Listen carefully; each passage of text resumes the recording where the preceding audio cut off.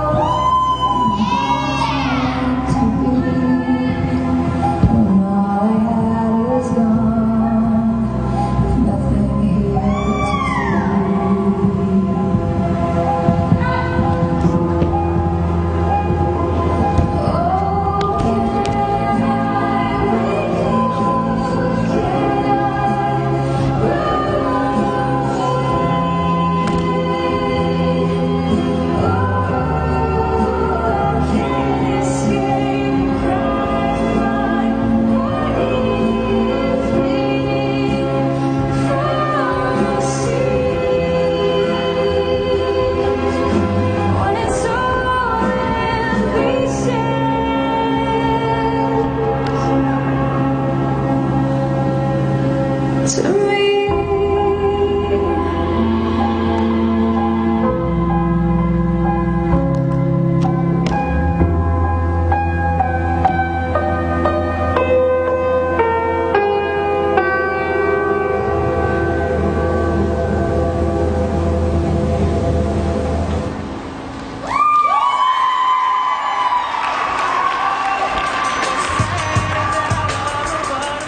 Continuing in the same category.